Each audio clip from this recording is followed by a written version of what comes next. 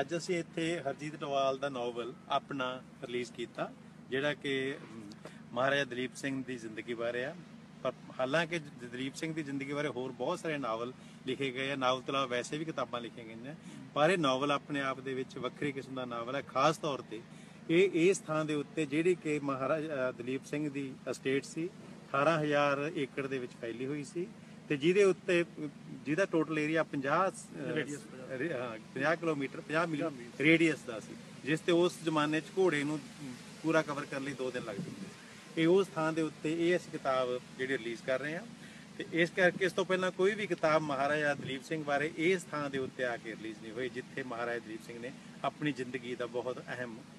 Time ਗੁਜ਼ਾਰਿਆ। ਇਹ ਵੀ ਇਸ novel ਦੇ ਵਿੱਚ ਮਹਾਰਾਜਾ ਦਲੀਪ ਸਿੰਘ ਇੱਕ ਵੱਖਰੇ ਕਿਸਮ ਦਾ, ਇੱਕ ਕਿਰਦਾਰ ਦੇ ਤੌਰ ਤੇ ਵੱਖਰੇ ਕਿਸਮ ਦੇ ਰਾਜੇ ਦੇ ਤੌਰ, ਮਹਾਰਾਜੇ ਦੇ ਤੌਰ ਤੇ ਪੇਸ਼ ਹੋ ਰਿਹਾ ਇਹਦੇ ਇਸ ਤੋਂ ਪਹਿਲਾਂ ਜੋ ਵੀ ਮਹਾਰਾਜਾ ਦਲੀਪ ਸਿੰਘ ਬਾਰੇ ਲਿਖਿਆ ਗਿਆ, ਉਹ ਵੈਰਾਗ ਦੇ ਵਿੱਚੋਂ ਲਿਖਿਆ ਗਿਆ। ਜਿਸ ਦੇ ਵਿੱਚ ਸਭ ਤੋਂ ਪਹਿਲਾਂ ਉਹਦਾ ਪੰਜਾਬ ਤੋਂ ਰਾਜ ਖੁੱਸਣਾ ਤੇ ਫਿਰ ਉਹ ਐਗਜ਼ਾਈਲ ਦੇ ਵਿੱਚ ਭੇਜਣਾ ਹੁੰਦਾ ਸੀ। ਇਹ, ਉਹ ਸਾਰੇ ਉਹਨਾਂ ਦ੍ਰਿਸ਼ਾਂ ਨੂੰ ਚਿਤਰਨ ਸਮੇਂ ਖਾਸ ਤੌਰ ਤੇ ਖੁਸਨ ਤੇ ਐਗਜ਼ਾਈਲ ਦੀ ਜਿਹੜੀ ਆਪਸੀ ਪਲੇ ਹੈਗੀ, ਜਿਹੜੀ ਆਪਸੀ ਖੇਡ ਹੈ, ਉਸ ਨੂੰ ਬਿਆਨ ਕੀਤਾ ਸੀ। ਇਹ ਨਾਵਲ ਇੱਥੇ ਆ ਕੇ ਉਹ ਜ਼ਿੰਦਗੀ ਕਿਵੇਂ ਜਿਉਂਦਾ ਸੀ? ਤੇ ਉਹਦੀ ਸੰਪੂਰਨ ਜ਼ਿੰਦਗੀ ਕਿਸ ਤਰ੍ਹਾਂ ਸੀ? ਜਿਹਦਾ ਇੱਕ ਭਾਵੇਂ ਉਹਦੀ ਬੈਕਗ੍ਰਾਉਂਡ ਪੰਜਾਬ ਦਾ ਰਾਜ ਖੁਸਨਾ ਤੇ ਐਗਜ਼ਾਈਲ ਸੀ, ਪਰੰਤੂ ਫਿਰ ਵੀ ਆ ਕੇ ਉਸਨੇ ਨਵੀਂ ਜ਼ਿੰਦਗੀ ਨੂੰ ਕਿਸ ਢੰਗ ਨਾਲ ਰੂਪ ਰੂਪਗਤ ਕੀਤਾ, ਇਹ ਉਹਦੇ ਵਿੱਚ ਖਾਸ ਤੌਰ ਤੇ ਪੇਸ਼ ਕੀਤਾ ਗਿਆ। ਜਿਵੇਂ ਕੀ ਕੀ ਉਹਦੇ ਟੇਸਟ ਸੀ, ਜਿਸ ਤਰ੍ਹਾਂ ਉਹਦੀ ਘੋੜਾ, ਘੋੜ ਸਵਾਰੀ ਬਹੁਤ ਉਹਦਾ ਟੇਸਟ ਸੀ। ਅਸੀਂ ਉੱਤੇ ਦੇਖਦੇ ਹਾਂ ਜਿਹੜਾ ਬੁੱਤ ਲਾਇਆ ਗਿਆ, ਉਹਦੇ ਵਿੱਚ ਵੀ ਮਹਾਰਾਜਾ ਦਲੀਪ ਸਿੰਘ ਘੋੜੇ ਦੇ ਵਿੱਚ। ਸੈਕੰਡ ਗੱਲ ਕੀ ਹੈ ਕਿ ਇੱਥੇ ਉਹ ਖਾਸ ਤੌਰ ਤੇ ਚਰਚਸ ਬਾਰੇ ਚਰਚਸ ਦੀ ਉਹ ਨੂੰ ਵੀ ਉਹ ਫੰਡ ਕਰਦਾ ਹੁੰਦਾ ਸੀ, ਸਕੂਲਾਂ ਨੂੰ ਵੀ ਕਰਨ ਹੁੰਦਾ ਸੀ। ਉਹਦੀ ਆਪਣੀ ਰਿਆਇਤ ਸੀ ਉਹਦੀ ਜਿਹੜੀ ਜ਼ਮੀਨ ਤੇ ਵਾਹੁਣ ਵਾਲੇ ਮਜ਼ਾਰੇ ਹੁੰਦੇ ਸੀ, ਜਿਸ ਤੋਂ ਟੈਕਸ ਲੈਂਦਾ ਹੁੰਦਾ ਸੀ। ਇਸ ਦੇ ਨਾਲ ਕੀ ਹੈ ਕਿ ਉਹ ਬਾਰ-ਬਾਰ ਪੰਜਾਬ ਨੂੰ ਚੇਤੇ ਕਰਦਾ ਹੁੰਦਾ ਸੀ। ਉਹ ਇਹਦਾ ਮਤਲਬ ਕੀ ਹੈ ਕਿ ਮਹਾਰਾਜਾ ਰਣਜੀਤ ਦਲੀਪ ਸਿੰਘ, ਅਸੀਂ ਐ ਨਹੀਂ ਕਹਿ ਸਕਦੇ ਕਿ 100% ਉਹ ਸਿਰ ਪੰਜਾਬ ਨੂੰ ਯਾਦ ਕਰਦਾ ਰਿਹਾ। ਸਗੋਂ ਉਹਨੇ ਇੱਥੇ ਜਿਹੜੀ ਜ਼ਿੰਦਗੀ ਬਤੀਤ ਕੀਤੀ, ਇਹਦੇ ਵਿੱਚ ਆਪਣੇ ਆਪ ਨੂੰ ਇਨਵੋਲਵ ਵੀ ਕੀਤਾ। ਖਾਸ ਤੌਰ ਤੇ ਸਾਰੇ ਯੂਰਪ ਦੀ ਸਿਆਸਤ ਨੂੰ ਅਤੇ ਉਸ ਵੇਲੇ ਦੇ ਇੰਗਲੈਂਡ ਦੀ ਸਿਆਸਤ ਨੂੰ ਕਲੋਨੀਅਲ ਰੂਲ ਦੀ ਸਿਆਸਤ ਨਾਲੋਂ ਬਹੁਤ ਨੇੜੇ ਦੇਖਿਆ ਤੇ ਵਾਰ-ਵਾਰ ਉਸਨੇ ਉਸ ਸੰਘਰਸ਼ ਕਰਕੇ ਆਪਣੇ ਰਾਜ ਨੂੰ ਦੁਆਰਾ ਪ੍ਰਾਪਤ ਕਰਨ ਦੀ ਕੋਸ਼ਿਸ਼ ਕੀਤੀ। ਹੁਣ ਤੱਕ ਜਿਹੜੀ ਮਹਾਰਾਜਾ ਦਲੀਪ ਸਿੰਘ ਦੀ ਜਿਹੜੀ ਕਹਾਣੀ, ਅਸੀਂ ਜਿੰਨੀਆਂ ਵੀ ਕਿਤਾਬਾਂ 'ਚ ਪੜ੍ਹੀਆਂ, ਭਾਵੇਂ ਉਹ ਅੰਗਰੇਜ਼ੀ 'ਚ ਹੈ ਤੇ ਭਾਵੇਂ ਉਹ ਪੰਜਾਬੀ ਦੇ ਵਿੱਚ ਹੈ, ਜਾਂ ਵਾਰਾਂ ਦੇ ਤੌਰ ਤੇ ਮਿਲਦੀ ਆ, ਜਾਂ ਕਿੱਸਿਆਂ ਦੇ ਤੌਰ ਤੇ ਮਿਲਦੀ ਆ, ਜਾਂ ਜਿਸ ਵੀ ਫਾਰਮ 'ਚ ਮਿਲਦੀ ਆ, ਉਹਦੀ ਮੁੱਖ ਤੌਰ ਤੇ ਹਾਰ ਦੀ ਗਾਥਾ ਹੈ। ਜਿਹਦੇ ਵਿੱਚ ਇੱਕ ਹਾਰੇ ਹੋਏ ਬੰਦੇ ਦੇ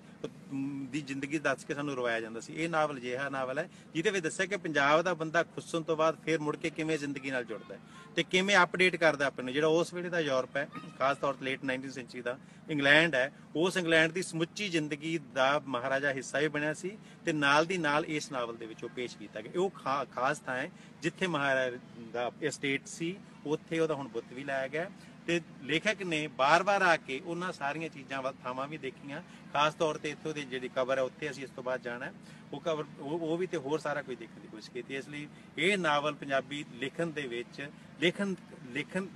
ਦੀ ਪ੍ਰੈਕਟਿਸ ਦੇ ਨਜ਼ਰੀਏ ਤੋਂ, ਲਿਖਣ ਦੇ ਅਭਿਆਸ ਦੇ ਨਜ਼ਰੀਏ ਤੋਂ ਬਿਲਕੁਲ ਵੱਖਰਾ ਇਸ ਤੋਂ ਪਹਿਲਾਂ ਇਹੋ ਜਿਹਾ ਕੋਈ ਨਾਵਲ ਨਹੀਂ ਲਿਖਿਆ ਗਿਆ ਕਿ ਜਿਹੜਾ ਉਸ ਖਾਸ ਥਾਂ ਤੇ ਜਾ ਕੇ ਇੱਕ ਖਾਸ ਅਟੈਚਮੈਂਟ ਦੇ ਨਾਲ ਜਿਹੜਾ ਲਿਖਿਆ ਗਿਆ ਹੋਵੇ ਇਹਦੇ ਨਾਲ ਹੀ ਕੀ ਆ ਕਿ ਆਉਣ ਵਾਲੇ ਸਮੇਂ ਜਿਹੜਾ Punjabi diaspora particular Punjab British Punjabi diaspora ਉਹਦਾ ਦੇ ਭਵਿੱਖ ਨੂੰ ਰੂਪਗਤ ਕਰਨ ਦੇ ਲਈ ਜਿਹੜਾ ਇਹ ਨਾਵਲ ਵੀ ਤੇ ਇਹ ਬਾਰ-ਬਾਰ ਇਸ ਨੂੰ ਚੇਤੇ ਕਰਨਾ ਵੀ ਵਿਸ਼ੇਸ਼ ਯੋਗਦਾਨ ਅਦਾ ਕਰੇਗਾ। ਵਿੱਚ ਆਪਾਂ ਇਹ ਵੀ ਕਹਿ ਸਕਦੇ ਹਾਂ ਕਿ ਪੰਜਾਬ ਬ੍ਰਿਟਿਸ਼ ਪੰਜਾਬੀ ਡਾਇਸਪੋਰਾ ਜਿਵੇਂ ਕਿ ਉਹਨੇ ਆ ਕੇ ਇੱਥੇ ਵਾਪਸ ਪੰਜਾਬ ਜਾਣ ਦੀ ਰੀਝ ਵੀ ਰੱਖੀ ਪਰ ਨਾਲ ਇੱਥੇ ਇੱਥੋਂ ਦੇ ਸਮਾਜ ਨਾਲ ਵੀ ਜੁੜਿਆ। ਇਹਦੇ ਪਰਤ ਦਰ ਪਰਤ ਗੱਲਾਂ ਵੀ ਕੀਤੀਆਂ ਫਿਰ ਗਵਰਨਮੈਂਟ ਨੂੰ ਉਹਨੇ ਉਹਦੇ ਮਹਾਰਾਣੀ ਨਾਲ ਬਹੁਤ ਨੇੜੇ ਦੇ ਸੰਬੰਧ ਸੀ ਉਹਦੇ ਸਾਨੂੰ ਚਿੱਠੀਆਂ ਵੀ ਮਿਲਦੀਆਂ। ਤੇ ਇਹ ਪੰਜਾਬੀ ਡਾਇਸਪੋਰਾ ਦਾ ਭੂਤ ਬਾਰੇ ਵੀ ਇਸ ਤੋਂ ਅਸੀਂ ਅੰਦਾਜ਼ਾ ਲਾ ਸਕਦੇ ਹਾਂ ਤੇ ਭਵਿੱਖ ਬਾਰੇ ਵੀ ਬਿਆਨ ਕਰਾਂਗੇ। ਇਸ ਲਈ ਪੰਜਾਬੀ ਦੇ ਵਿੱਚ ਇਹ ਨਾਵਲ, ਆਪਣੀ ਕਿਸਮ ਦਾ ਵੱਖਰੀ ਕਿਸਮ ਦਾ ਨਾਵਲ ਹੈ ਜਿਸ ਨੂੰ ਹਰ ਇੱਕ ਨੂੰ ਜਿਸ ਨਾਲ ਰਸਾਈ ਕਰਨੀ ਚਾਹੀਦੀ ਹੈ। ਤੁਸੀਂ ਬੋਲੋ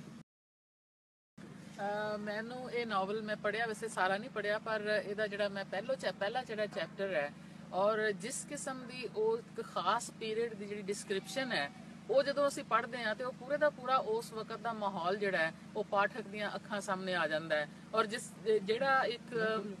ਮੈਂ ਸਮਝਦੀ ਹਾਂ ਕਿ ਜਿਹੜੀ ਨੋਵਲ ਦਾ ਜਿਹੜਾ ਇੱਕ ਨੈਰੇਟਿਵ ਹੁੰਦਾ ਉਹਦੇ ਵਿੱਚ ਜਦੋਂ ਜਿਹੜੀ ਡਿਸਕ੍ਰਿਪਸ਼ਨ ਇੱਕ ਅਹਿਮ ਡਿਵਾਈਸ ਹੁੰਦੀ ਹੈ ਔਰ ਉਸ ਨੂੰ ਬੜੀ ਖੂਬਸੂਰਤੀ ਦੇ ਨਾਲ ਇਸ ਨਾਵਲ ਦੇ ਫਰਸਟ ਚੈਪਟਰ ਦੀ ਮੈਂ ਜੇ ਗੱਲ ਕਰਾਂਗੀ ਔਰ ਮੈਨੂੰ ਉਮੀਦ ਹੈ ਕਿ ਜਿਉਂ-ਜਿਉਂ ਇਹ ਸਾਰਾ ਨੋਵਲ ਅਸੀਂ ਪੜਾਂਗੇ ਔਰ ਕਹਾਣੀ ਜਿਹੜੀ ਹੈ ਇੱਕ ਆਪਣੇ ਵੱਖਰੇ ਅੰਦਾਜ਼ ਦੇ ਵਿੱਚ ਅੱਗੇ ਤੋਂ ਅੱਗੇ ਤੁਰਦੀ ਜਾਏਗੀ ਔਰ ਦਲੀਪ ਸਿੰਘ ਦੇ ਬਾਰੇ ਇੱਕ ਨਵੀਂ ਤਰ੍ਹਾਂ ਦੀ ਜਿਹੜੀ ਸੋਚ ਹੈ, ਉਹ ਸਾਡੇ ਸਾਹਮਣੇ ਲਿਆਏਗੀ। ਔਰ ਅਸੀਂ ਹਰਜੀਤ ਨੂੰ ਇਹੋ ਜਿਹਾ ਸਮਰੱਥ ਨੋਵਲ ਲਿਖਣ ਦੇ ਉੱਤੇ ਮੁਬਾਰਕਬਾਦ ਦਿੰਦੇ ਆ ਔਰ ਅਸੀਂ ਖੁਸ਼ੀ ਮਹਿਸੂਸ ਕਰ ਰਹੇ ਹਾਂ ਕਿ ਅੱਜ ਅਸੀਂ ਉਸ ਥਾਂ ਤੇ ਇਹਨੂੰ ਰਿਲੀਜ਼ ਕੀਤਾ ਗਿਆ ਹੈ ਜਿੱਥੇ ਮਹਾਰਾਜਾ ਅ, ਦਲੀਪ ਸਿੰਘ ਦੀ ਆਪਣੀ ਕਬਰ ਵੀ